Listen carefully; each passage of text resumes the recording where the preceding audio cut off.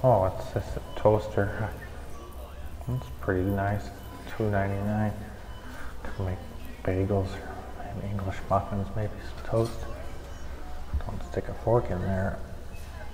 I don't even know what this is.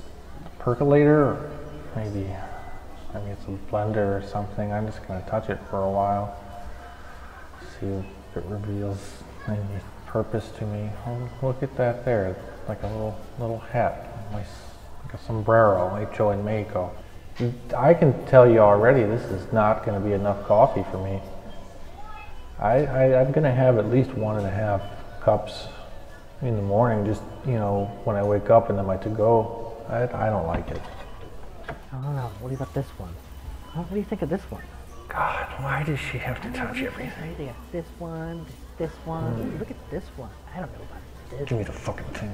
Biscuit, hey, yo, Biscuit, how you doing, lady?